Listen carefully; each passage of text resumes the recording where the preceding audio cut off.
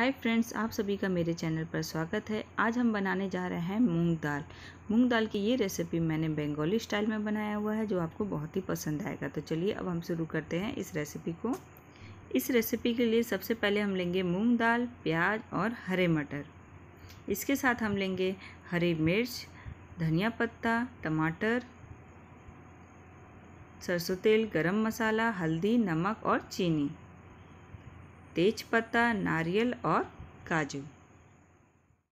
तो सबसे पहले हम एक बर्तन लेंगे और उसमें डालेंगे मूंग दाल।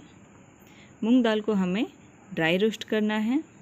तो यहाँ मैंने गैस के फ्लेम को मीडियम रखा है और इसे दो से तीन मिनट तक इसी तरह से कंटिन्यू चलाते हुए ड्राई रोस्ट कर लूँगी। इसके बाद हम इसे एक बर्तन में निकालेंगे। तो ये देखिए, दाल हमारा अच्छे से ड्राई रोस्ट हो गया है। तो चलिए हम इसे एक बर्तन में निकाल लेते हैं और इसे धोकर साफ़ कर लेंगे। इसके बाद हम वापस इसी बर्तन में तीन कप पानी लेंगे। गैस के फ्लेम को हम फुल रखेंगे ताकि पानी अच्छे से गर्म हो जाए। इसके बाद हम इसमें धुले हुए मूंग दाल डाल देंगे। अब हम इसे मीडियम फ्लेम पे अच्छे से पकाएँगे। मिक्स करें, हल्दी डालें और ढक्कन लगा के दाल को अच्छे से पका लें। बीच बीच में हम स्पून की सहायता से इसे मिक्स करते रहेंगे। देखिए, दाल हमारा अच्छे से सॉफ्ट होना शुरू हो चुका है। अब हमारा दाल अच्छे से पक चुका है। तो चलिए हम इसे एक बर्तन में निकाल लेंगे। तो चलिए अब हम वापस एक बर्तन लेंगे और उसमें डालेंगे सरसों का तेल। आप चाहे तो यहाँ घी का भी यूज़ कर सकते हैं। तेल को गर्म होने दें। इसमें डालें तेज पत्ता और कटे हुए हरी मिर्च। मिक्स करें। इसके बाद हम इसमें डालेंगे काजू। मिक्स करेंगे। एक मिनट तक हम इसे मीडियम फ्लेम पे इसी तरह से पकाएँगे। इसके बाद हम इसमें डालेंगे कटे हुए प्याज। मिक्स कर दें। मीडियम फ्लेम पे हमें प्याज को सॉफ्ट होने तक फ्राई करना है। अब आप देख सकते हैं कि प्याज हमारा अच्छे से सॉफ्ट हो चुका है।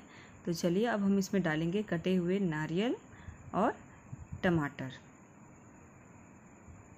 तो देखिए, इसे भी हमने इसमें डाल दिया है। तो हम इसे मिक्स कर लेते हैं और इसे भी थोड़ा सॉफ्ट होने तक पका लेते हैं।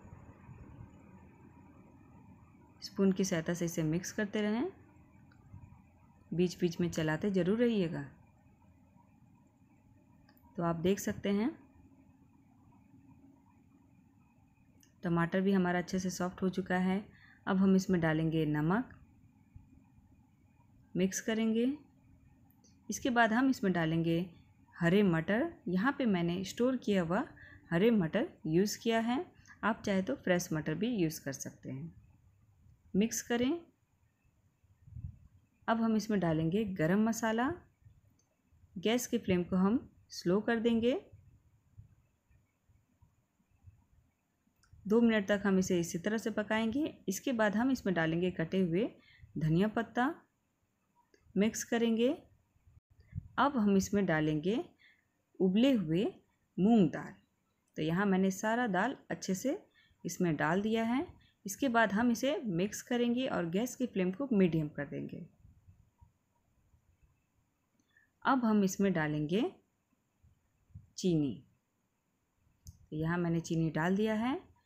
इसे मिक्स करें और पाँच मिनट तक हम इसे मीडियम फ्लेम पे पकाएँगे।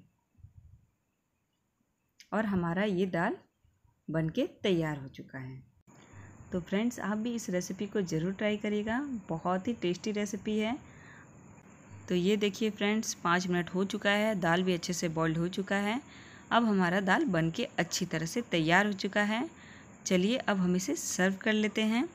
अगर आपको मेरी रेसिपी पसंद आई तो फ्रेंड्स और फैमिली के साथ ज़रूर शेयर करिएगा।